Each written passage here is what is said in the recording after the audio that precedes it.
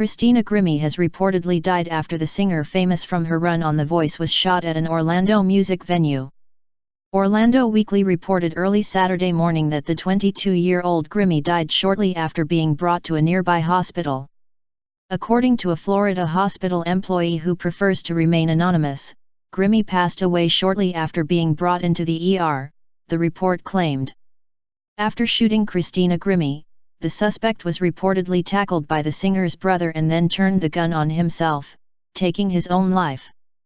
The shooter has not yet been identified.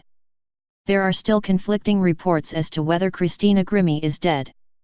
Orlando Weekly is the first outlet to report her death, while others listed the voice singer in critical condition.